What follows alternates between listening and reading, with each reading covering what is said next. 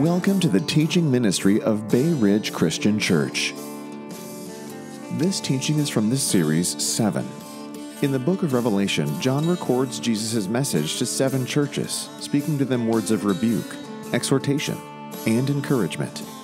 Though these letters were written in the first century, Jesus is still speaking through them to us today. Today, we're going to begin our series we're calling Seven, which we're going to be looking at the letters to the seven churches uh, of Asia that are contained in Revelation chapters 2 and 3. Today, we'll be looking at Ephesus, the loveless church. It's going to be Revelation 2 1 to 7. For this week, they'll be up on the screen, and you can follow along uh, there or follow along in your Bible. I'll be using the uh, New International Version. So hear now the word the living, living, risen, exalted Jesus. To the angel of the church in Ephesus, write These are the words of him who holds the seven stars in his right hand and walks among the seven golden lampstands. I know your deeds, your hard work, and your perseverance. I know that you cannot tolerate wicked men, and that you have tested those who claim to be apostles but are not and have found them false. You have persevered and have endured hardships for my name and have not grown weary. Yet I hold this against you. You have forsaken your first love. Remember the height from which you have fallen. Repent and do the things you did at first. If you do not repent, I will come to you and remove your lampstand from its place. But you have this in your favor you hate the practices of the Nicolaitans, which I also hate. He who has an ear, let him hear what the Spirit says to the churches. To him who overcomes, I will give the right to eat from the tree of life, which is in the paradise of God. So, we're going to be studying for the next seven weeks here in the book of Revelation. And Revelation is an easy book that there is not much argument over uh, in the church. Uh, actually, Revelation is a book that there is a ton of confusion and wild speculation about. Uh, and this section here is included in that if you go out and you look for these seven letters, what you'll find is a lot of people wanting to argue over, well, what is the angel? Does it mean each church has a guardian angel and all kinds of things? And let me go ahead and point out to you, it really makes no difference whatsoever who the angel is regarding what Jesus is saying to the church. Okay? A lot of people like to look at these and say, well, it's seven church ages that are being represented, and we live in the age of Laodicea. Uh, let me go ahead and say, no, that's not true.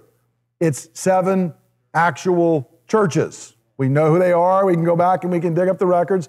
It's seven real letters to seven real churches that had real problems. And so, before we can talk anything about what it means to us, we have to say, well, who is this church? Why did Jesus write this specific thing to them? And what is he saying to them? But we should notice at the end of every one of them, first off, they all have the same basic format to the letters. So there's something to that. There's many more than seven churches in Asia, by the way. There's a reason he picked seven. Uh, but also, at the end of every one of them, he says, He who has an ear, let him hear what the Spirit is saying to the church as. Plural. So every church is hearing the word themselves, but they're being told if you have an ear to hear, you better hear what the Spirit is saying to all of the churches, and you better apply that to who you are and what God has called you to do. So we are going to spend seven weeks going through these letters, seeing what it meant to them, but then trying to hear what the Spirit says to us and how it would apply to us. So let's dive into the first of the seven, the church in Ephesus. Now, Jesus speaks to his church in Ephesus. Notice in verse 1 to the angel of the church in Ephesus, write. And so he's talking to the, the church in Ephesus, and there is actually an intricate literary structure that orders why one church is first and second and third and fourth and fifth and sixth and seventh. There's a, there's a whole structure that he's got built there that's a chiasm and all kinds of things. But there's another reason that Ephesus is first, and that is if you look at a map here, John is on the island of Patmos, which is the lowest square. That's where he's been exiled. In Ephesus, you can see in the upper square, and you can see in yellow all the other cities. And so, if one sent a letter and wanted it to go in a circuit to these seven churches, you would begin at Ephesus. And you would follow the order that the seven follow. And so, he's doing it in part, at least for that reason. And there's another reason Ephesus is the most important of these cities. In fact, it's the most important city in the entire Roman province of Asia. In fact, it's the fourth largest city in the world at that time. Ephesus had about 250,000 people who lived in it at that time. Later, it's going to shrink away to basically nothing. This is all in modern day Turkey. But at the time, only Rome, Alexandria, and Antioch were larger than Ephesus. 250,000 was a mega city at that time. Uh, Ephesus was also the economic center of this entire area, and the Roman proconsul, which was the, the Roman guy that was in charge of the whole area, lived there in Ephesus. Ephesus was also a key religious center. There were at least 15 deities that were worshiped there, but the real big deal was it was the temple keeper uh, for Artemis, the pagan goddess Artemis. And in fact, the temple of Artemis in Ephesus was one of the seven wonders of the ancient world. It was the largest religious structure in the entire world. This is what Ephesus is. And so, Ephesus is a very, very important city. And in fact, it was a large, important church in the New Testament and after. One of the creeds that uh, is recited by Christians around the world and accepted by Christians of every stripe to this day was actually put together in the city of Ephesus some 300 years after the Apostle John is writing. So Ephesus was still a major church and center all the way up past 400 AD. So Jesus is going to speak to this church in Ephesus. And notice here that we're told Jesus the sovereign God is speaking to his church. In Revelation 2 1, and just the first word of verse 2, we read, To the angel of the church in Ephesus, write, These are the words of him who holds the seven stars in his right hand and walks among the seven golden lampstands. I know. then he goes on to say what he knows. So, notice there's several things here that give us this picture. He, we're told that he holds the seven stars in his right hand and he walks among the lampstands. Well, in Revelation 1 12 to 20, and I began our meeting today kind of reading that, that's where John gets this awesome vision of Jesus. He hears a voice and he turns around and he sees Jesus, and we're told that Jesus is, you know, his hair is white like wool and his eyes are burning like fire, and he's got a two edged sword coming out of his mouth, and he's this incredible picture. And John, Jesus' best friend, says, I fell at his feet like I was dead. And Jesus touches him and picks him up and says, Listen, don't fear. I want, I want you to rise up. I was dead, but I'm alive. I've got the keys of death and Hades. I am the first and the last. I am the sovereign God, is in essence what he's saying. And then he says, Now I want you to write letters to the churches. And he explains in that that the stars are actually the angels of these churches. And he never tells us what the angels are. And people like to, again, they're probably most likely angels. But don't go trying to build a doctrine that Bay Ridge has some angel up there somewhere that is guarding. We're not given enough information because that's not the point. The point is, whoever the angels are, Jesus has got them in his hand. And the other point is, he's walking among the lampstands, and we're told in Revelation 1 12 to 20, the lampstands represent the churches.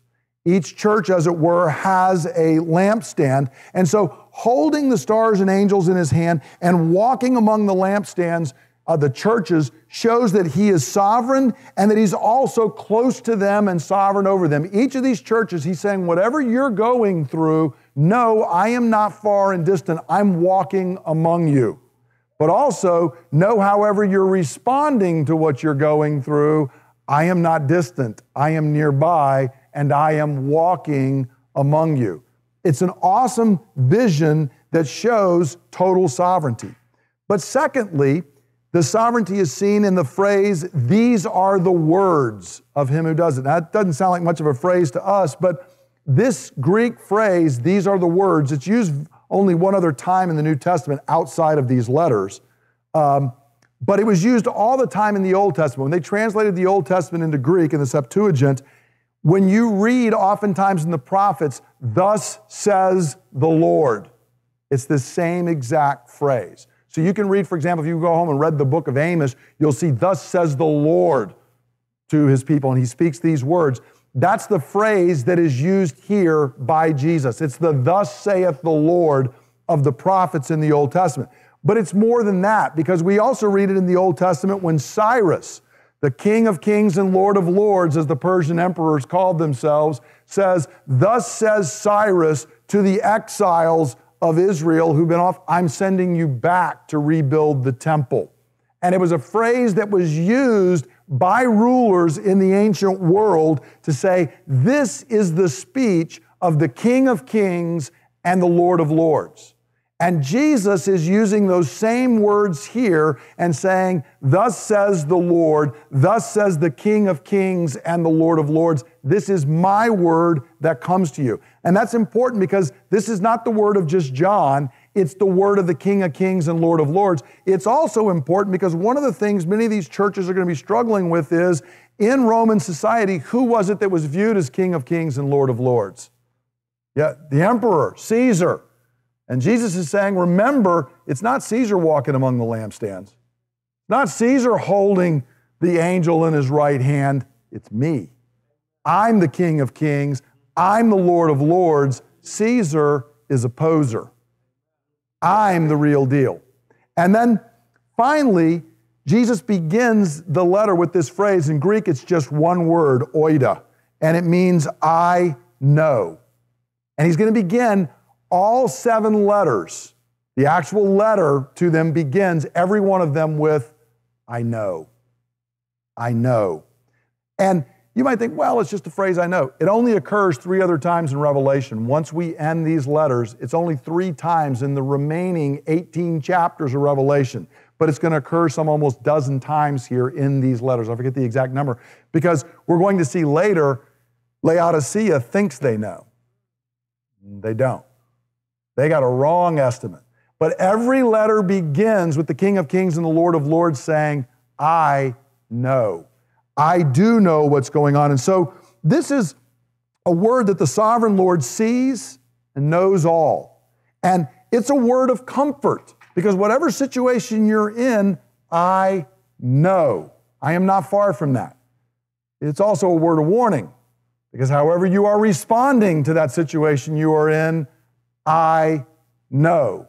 This is not simply John's opinion. This is not John, an old man stuck on, a, on an island out there and just writing some words. No, this is the word of the sovereign God. What follows is the unerring assessment of Jesus, the risen, exalted, sovereign, all knowing Lord of all.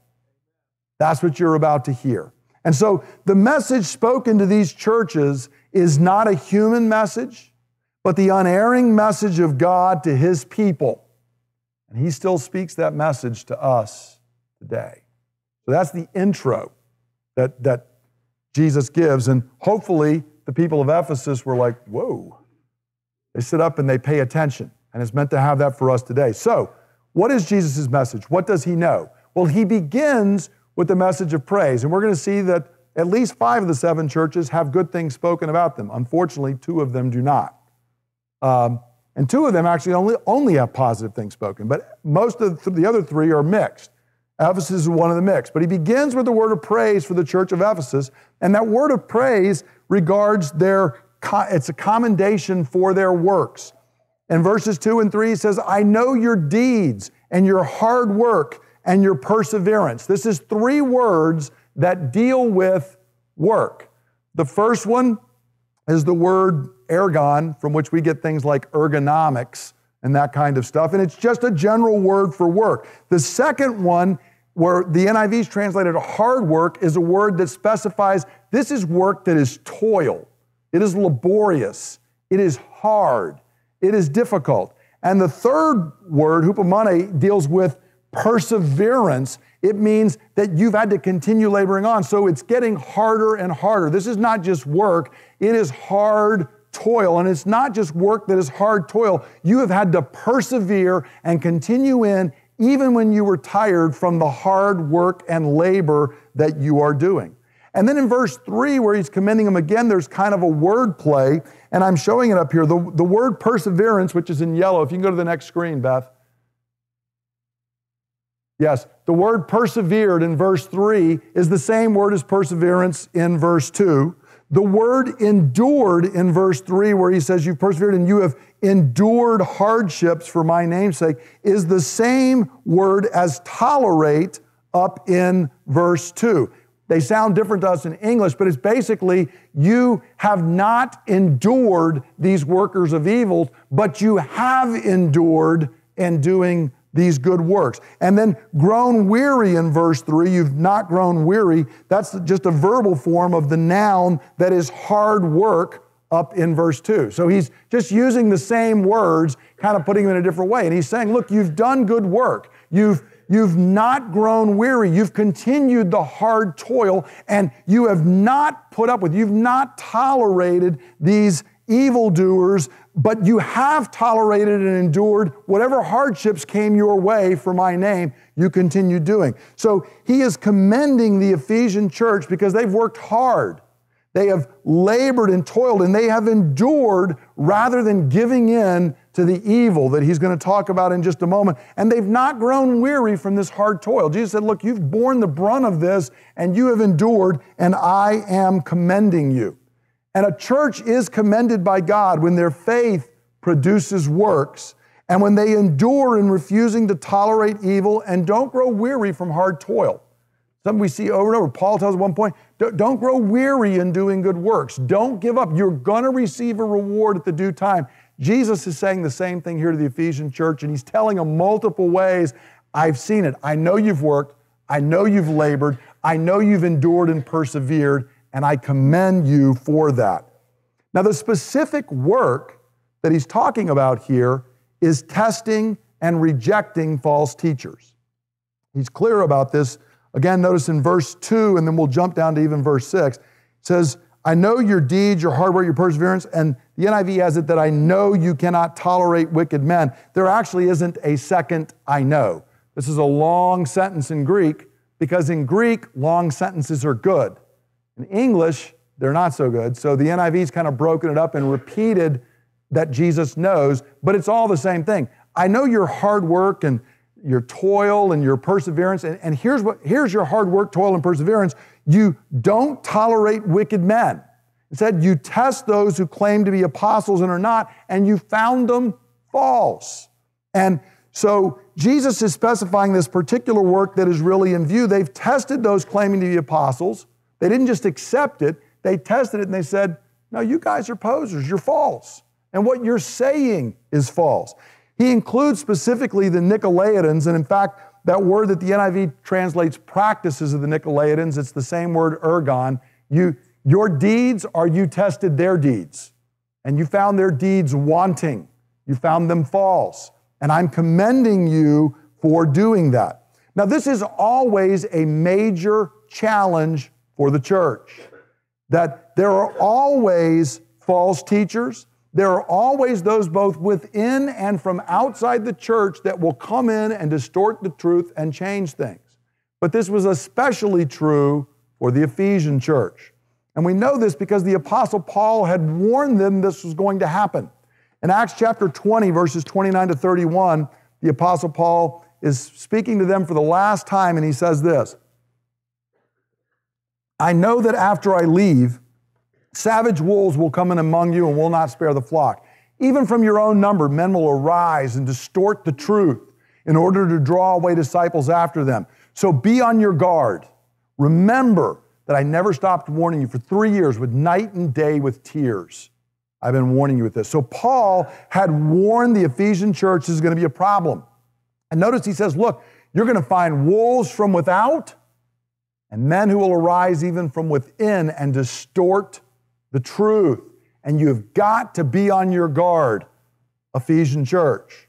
And his warning had come true because John, now, some 30 or 40 years later, is writing and saying, Jesus commends you because you did exactly what Paul had warned you to do. You tested these people and you did not give in to error. They had tested false teachers, refused them, and they had endured in this hard work from Paul's day now down through 30 or 40 years.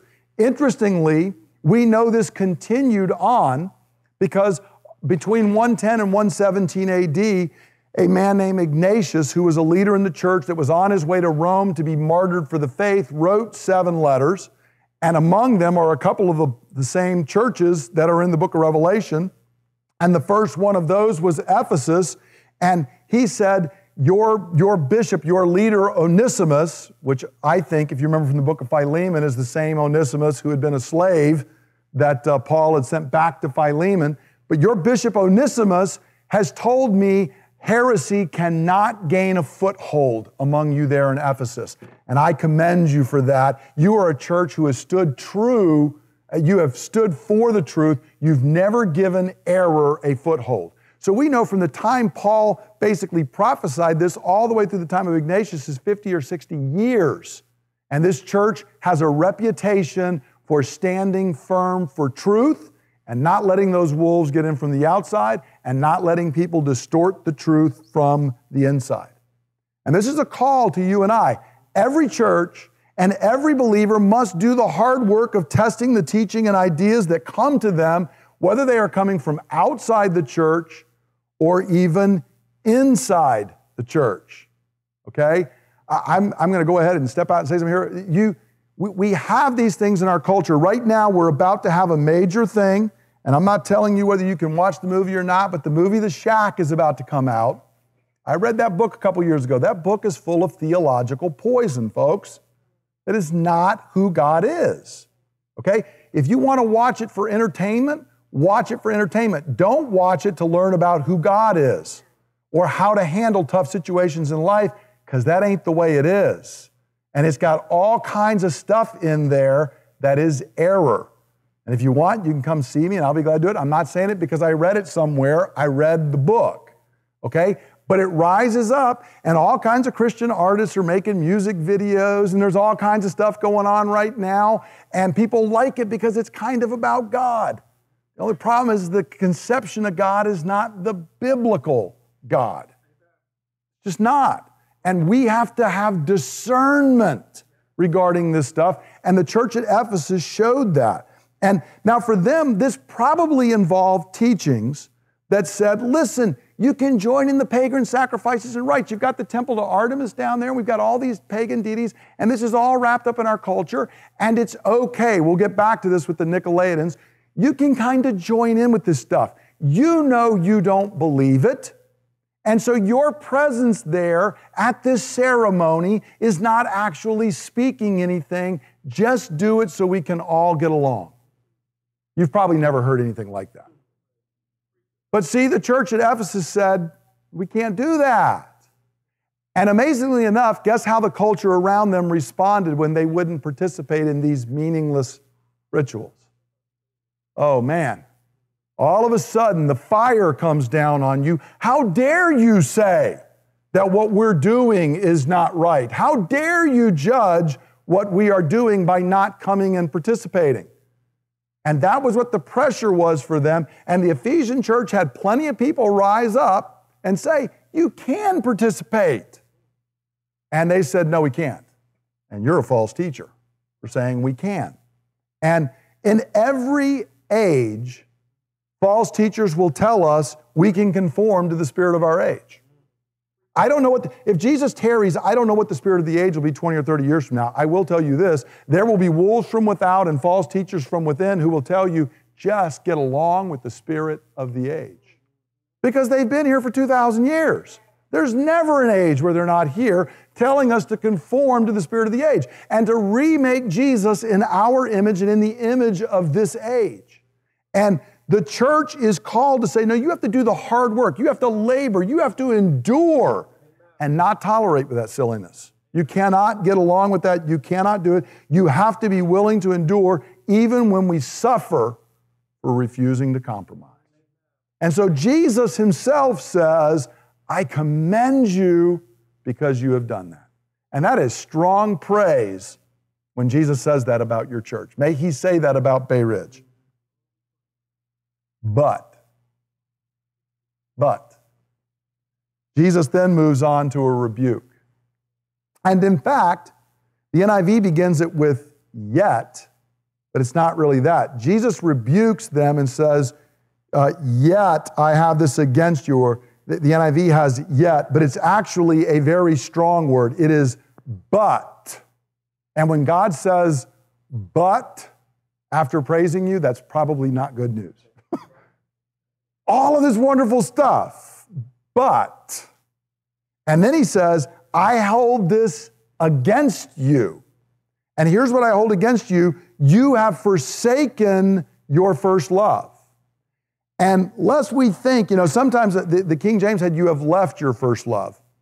But it's not just that you kind of forgot it. The word is the same word that's used for divorce. You've divorced your first love. You have forsaken it like someone you have left behind. It deals with an active one. It is a very strong word. And so it's a strong rebuke from Jesus. But I got this against you. And here's what I got against you you have forsaken and abandoned the way you loved at first. You have done so well testing, but in your zeal to find the truth, you've lost love. And you're committed to truth, but somehow that commitment to truth is not producing love and actual relationship the way that it is supposed to. And so, scholars here like to argue well, who is the first, what is the first love? Is it love for God? And some translations actually say, You've left your first love for me. That's not in the Greek. Is it love for believers, your fellow brothers and sisters? We know John likes to write about that a lot. Or is it love for the lost? Okay, because in Matthew 24, Jesus says the love of many is going to grow cold, but this gospel of the kingdom is going to be preached into all the world. So the same dynamics going on, and there's going to be false teachers. And so, which is it?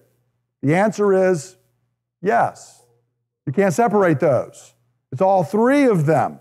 You have left your first love. You have left your first love for me. The foundation of love for Christ is the foundation of, of love for all other forms of love. If you're not loving God, you can't truly love your brothers and sisters, and you cannot love your neighbor. The first commandment, love God with all your heart, soul, mind, and strength, is the foundation of the second commandment, love your neighbor as you love yourself. And so, what this warns us is, and this is a scary warning, I'm, I'm one who is committed to doctrinal precision and truth. I love to study and to know the truth. But it is possible to be zealous and hot for the truth of God while growing lax and lukewarm in our love for God Himself. I can get so interested in the study and the books that God Himself is left on the sideline. That is a scary thought. But it's what seems to be happening to the Ephesian church. Passion for God's truth has replaced passion for Jesus Himself. And Jesus is saying, I got that against you. You loved me, not just my truth, but now love for me is kind of waning. And if you study the history of the church, you'll find this to be very, very true. People who get very zealous for truth, but somehow the passion for Jesus seems to wane in that.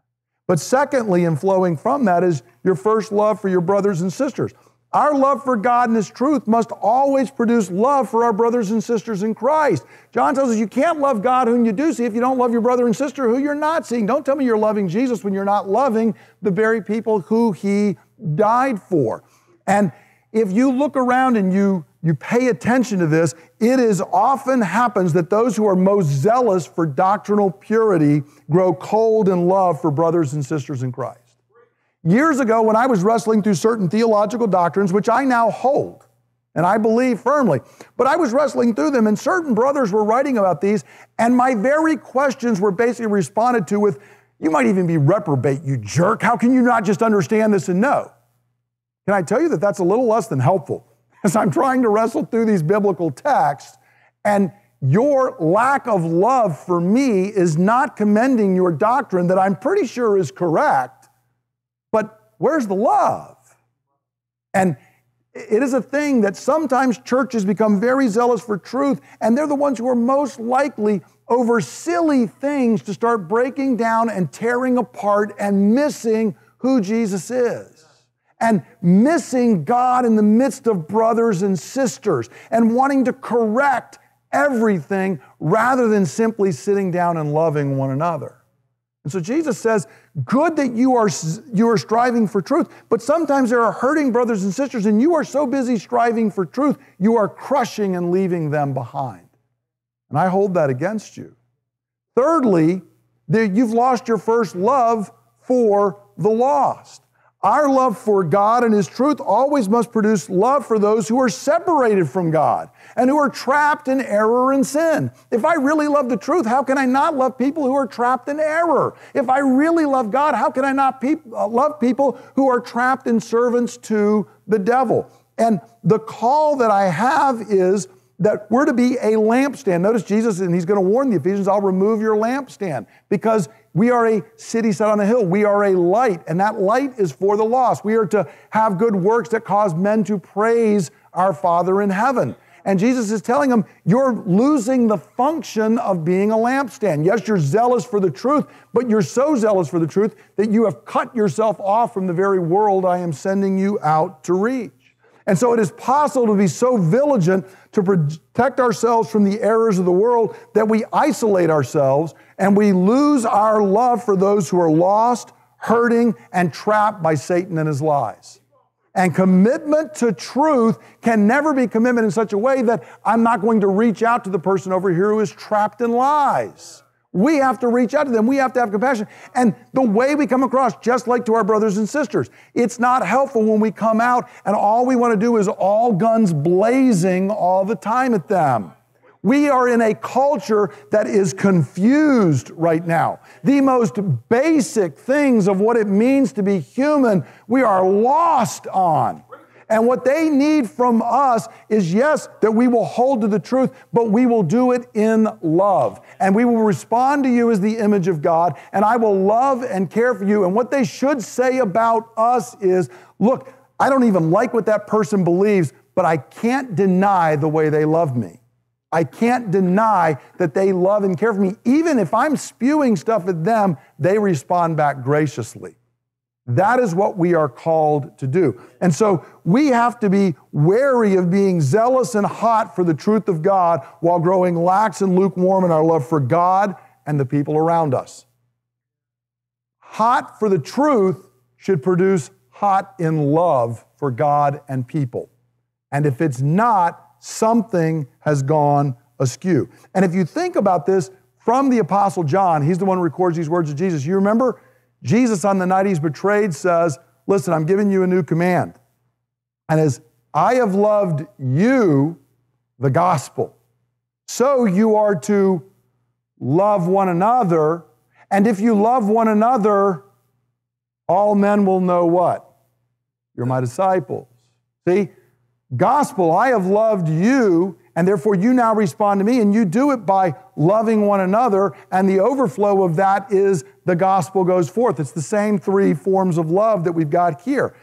Jesus had spoken it to the disciples on that night. That is what it always is. The gospel, when we stand amazed at what God has done for us and that this Jesus is the risen living one, He has died for us and our sins, it has to produce in us a love for one another. Friend, you may look differently than I do. You may think differently. You might like different music, which is really a problem because my taste is so good. But no matter what the issues of differences are, here's what we've got in common we have been redeemed.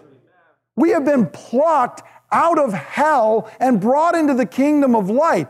Every other difference pales. It doesn't matter whether you're male or female, slave or free, educated, uneducated, rich, poor, all of that stuff doesn't matter. I don't care what your nationality is, what political party you belong to. We are brothers and sisters in Christ. Everything else pales. And then for those who are outside the kingdom, we bear the image of God together. And you, trapped in error and sin, dead in your trespasses, are exactly as I was. And if the grace of God could reach down to me, I got hope it'll reach to you. And therefore, I will do everything I can to pray and love and serve. That's the truth of God. And that's what we're called to do. Can you tell I'm a little bit passionate about this? Now, so Jesus speaks this to them. But then he doesn't just leave them there. He says, Let me tell you the way back to your first love. And he gives us several steps. This is in verses five and seven, because in verse six, he kind of goes back and commends them again a little bit. In verse five, he tells us step one remember the height from which you have fallen. Remember where you have fallen. The way forward begins by looking back and remembering our first love. And friend, this is true of all forms of love, whether it's love for God, whether it's love for brothers and sisters in Christ, whether it's love for the lost, if it's love for your spouse or your kid who you're wanting to kill this week. It doesn't matter what form of love it is that you are struggling with, it begins the same way. You look back and you remember the good to correct what has gone wrong. We often look back and remember past offenses and problems, but to return to our first love, we have to look back and remember the good. If I just take the, the thing of another human, if I look back and I focus on what you have done wrong, is that a recipe for returning to first love? No, it's a recipe for me griping and moaning and complaining. And Jesus, do you see all the things they do wrong? But see, you got to remember from where you fell. And I remember back with my brothers and sisters or my spouse or whatever it is, I remember back and I say, you know what? This is the good. This is why we're together. You and I might be going through relational friction, but you know what? Jesus redeemed us both. He brought us together. And He not only redeemed us both, He planted us in the same congregation. And He did it for a reason. And I'm going to remember that and let that cover. Love covers a multitude of offenses. But it only does so if I remember where I have fallen from rather than remembering all of the offenses along the way. Second point repent. And I don't like that word, so we're going to skip it. Jesus, Jesus doesn't just leave them there. It's not just remember. When you remember, repent. So when our love has grown cold, we repent. We purposefully choose to change our way of thinking and the corresponding actions. And repentance, metanoia in the Greek, noia, noia, literally deals with thoughts. Repentance begins with thought. Because if I continue my wrong pattern of thinking, I am not going to change my pattern of behavior, which is why Jesus began with you got to remember where you fell from. Because if I say, okay, I'm going to love my brother and sister, I'm going to do it, man, you know, all the things they have done to me, then you're not going to repent. You're not going to change. No, you, you change your way of thinking, and I decide I'm going to act in a different way. I'm going to control the way my mind is going and I'm going to act in different manners. Without repentance, a conscious decision that Jesus, what I did was wrong. In fact, I have left my first love. I'm going to call it what it is. It's, it's, it's a wrong thing, it's a sin. And I'm going to call it that, and I'm going to repent of that. We're never going to return to it unless we do that. Third point, Jesus tells them to do the deeds of love. Notice Repent and do the things you did at first. So you remember where you were, you repent that you're not there anymore, and then you do the deeds of love.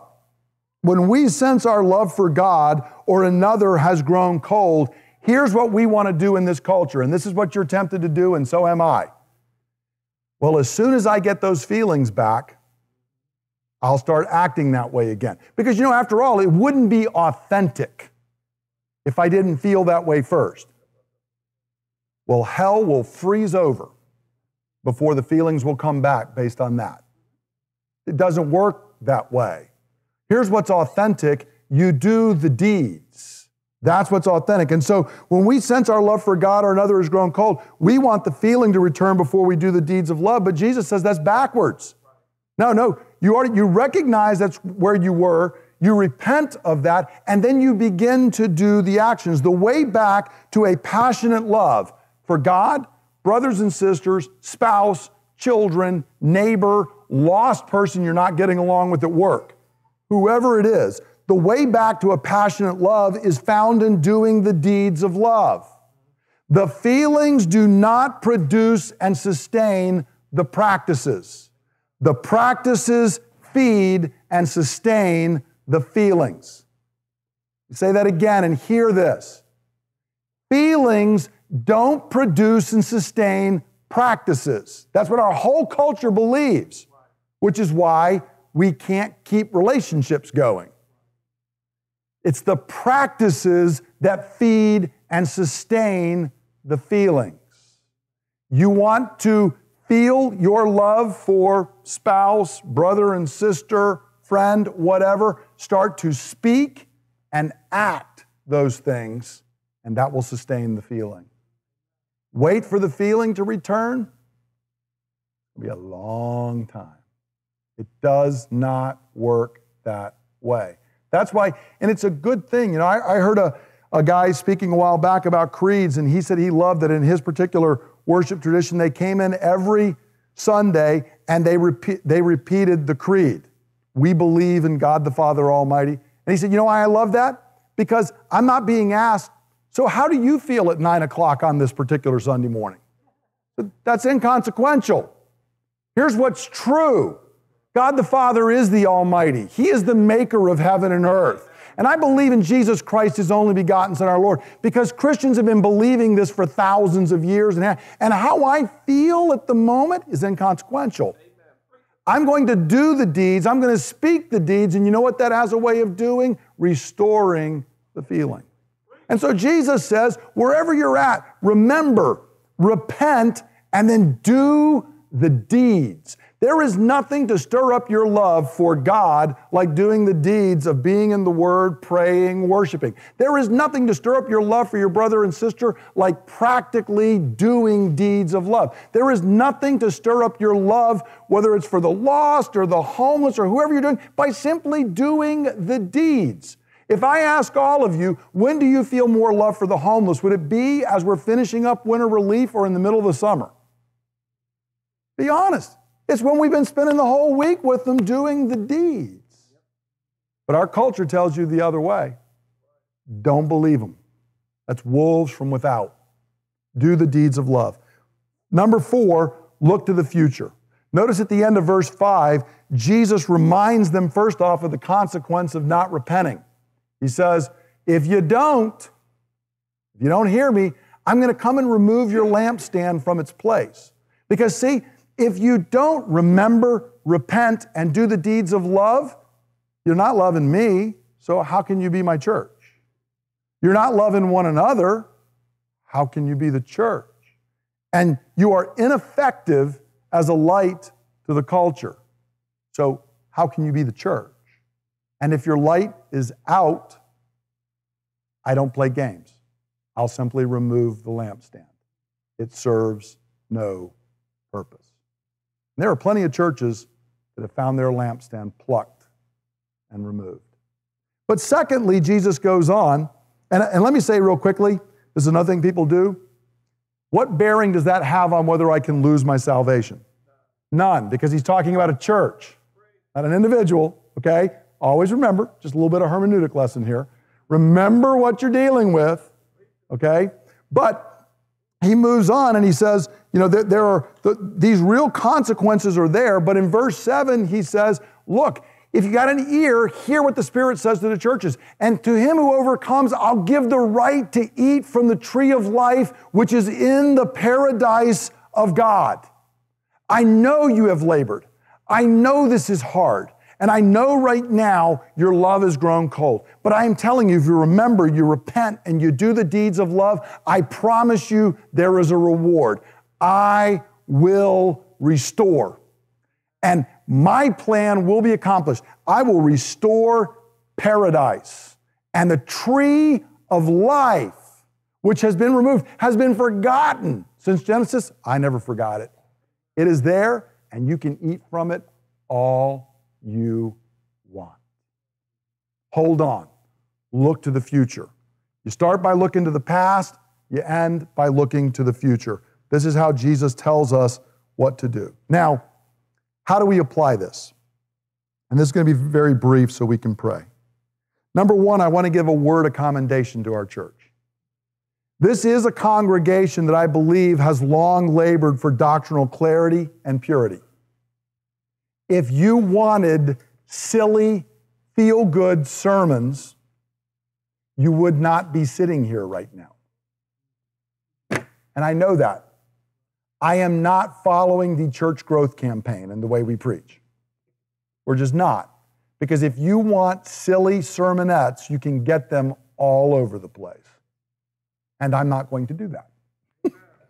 I'm just not. I'll go sell cars or something for a living instead, but I'm not doing that. Okay? And I want to commend you and I want to commend this congregation. And we have a reputation for being a church that believes the truth and tries to be clear in what we believe, what we preach, and how we practice. And that is good. I also want to commend you because this congregation has a reputation that is deserved for showing love to one another and for other people. And that is good. I appreciate that we labor. I appreciate that we care for the homeless and the poor. I appreciate that we are kind to the lost who are around us. And I want to commend us for doing that. Love for God and His truth has prompted deeds of love for one another and for the world around. So I want to give a word of commendation that I believe the Spirit would say to the church. I want to commend us for that. Then I want to ask us individually, because I believe that's true for us corporately, but individually, there's the question Has my love for God or people grown cold? This is an ever present danger for us. It's an ever present danger for every one of us. Has it grown cold? And so, the kind of question, and I want us to be thinking this as we're praying this week. I want to urge you, we're calling us to prayer. So, tomorrow morning, I make a decision. Will I do the deed of love? Will I take time to pray? Will I take that card, email, Facebook post, whichever way you do it, and will I actually take the time to read Revelation 2 1 and pray through that verse and pray those consistent things? Do I love God passionately? Or do I just go through motions? Okay. Now, remember, emotions can produce the love, so I'm not, I'm not against emotions, but we can just kind of do it to get through it. The point of them is loving. I, I remember a time years ago that Linda, one time, I think I've mentioned this before, she, I came home, I gave her some flowers, and the response was less than jumping in my arms and kissing me and say, What a wonderful husband. And I kind of sensed something was up, and I said, What is it? And she said, I don't feel like you put any thought into this. I, I like the flower, but you do the same thing every time like it's on schedule. I'm like, Well, because it is on schedule. And I did what I did. The calendar told me to go do this today, and so I did it. Okay? There is a way of doing the right thing just perfunctorily. Okay? That's not what we're called to do. We do the deeds. And so the, the, the thing wasn't, okay, well, then I'll express my love. I'm never getting you a flower again. No. Okay. I hear that. You are correct. And I will rectify that. I will continue to do the deed of love, but I'm going to do it as an actual expression of love, not just that way. So, God, am I passionately, not just in love with your truth, in love with you? Do I want to see you? Do I want to know you? Do I want to hear your voice? Do I love people as I ought? Do I love my spouse? We talked a few weeks ago, the two being one. Do I love them passionately? Not just asking if we managed to not kill each other yet. I love them the way that God has called me, the, the way that I did when we chose, because I can safely say this no, nobody's parents picked you out for one another. This wasn't a done deal that you just woke up and was done one day. Do, do we love each other passionately? Fellow believers, do we love one another passionately? Or do we just, oh boy, that guy irritates me every time he says that the lost. Does my heart break that within a few miles of where you sit right now, there are hundreds of thousands of people that are lost, dead, trespasses. And if Jesus were to burst through the clouds right now, eternally cut off. That break my heart? Or do we just go through the motion?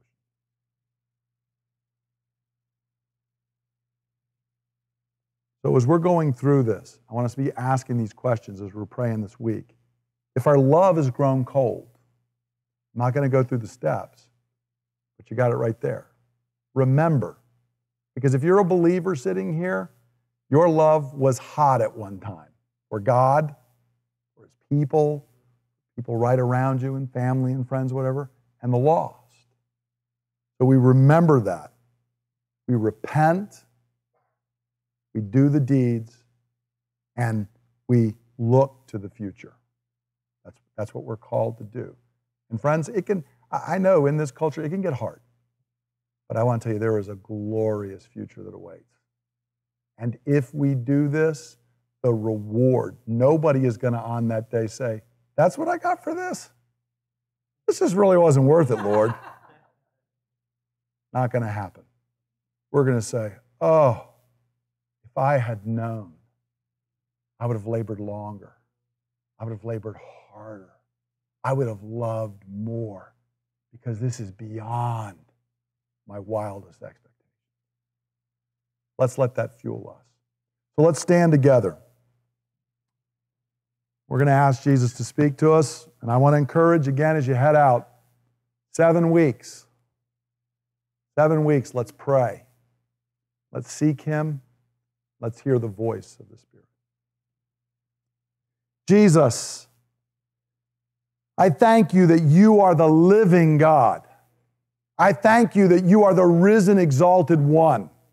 Jesus, the reason I am here is not because I just like ritual or I was looking for something else to do. I am here because you got up and you walked out of the tomb. It is empty. And you are alive and you hold the keys of death and Hades in your hand.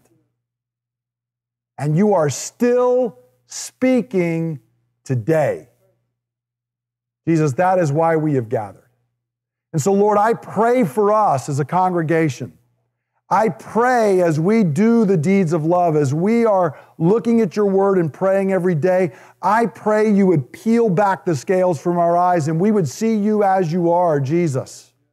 I pray you would unplug our ears and we would be those who have ears to hear what the Holy Spirit is saying. And Lord, as we see you, and as we hear your voice, I pray that our heart would be molded and fashioned, it would be filled with passion for you, O God. That our love for you would be new and fresh. Lord, I pray that our love for others around us, our brothers and sisters in Christ, our family, the lost around us, that it would be overflowing, O Lord. Father, would you work that in us as a congregation? Lord, I am grateful. Father, I've been part of this church in one way or another now for 37 years. Lord, I have seen and heard you do many things. But Lord, I don't want to look back. It's not about what you did 30 years ago. It's what, about what you're doing now and what you will do into the future. Lord, we want our lampstand to not only be in place, we want it burning bright now and into the future. So, Holy Spirit, we ask that you would come and you would speak to us, that the, the gospel would be ever fresh in our ears, that our hearts would be softened. Lord, I pray as we go through this seven weeks and as we gather on resurrection morning to celebrate your rising from the dead, Lord Jesus, I pray we would look and say, God has restored my first love. I love him more deeply than I did just a few weeks ago. And I love his people more deeply than I did, and I love the lost. My heart is broken with the things that would break the heart of God. Father, would you hear our prayer and would you work all of these things in us for your glory and our good? I ask in the name of Jesus Christ. Amen. Amen. Now receive the word of God's blessing. May the Lord make your love increase and overflow for each other and everyone else. May He strengthen your hearts so that you will be blameless and holy in the presence of our God and Father when our Lord Jesus comes with all his holy ones. Go in the peace, love, and joy of your God. Amen. Thank you for listening to the teaching ministry of Bay Ridge Christian Church. For more teachings and resources, please visit www.brcc.church.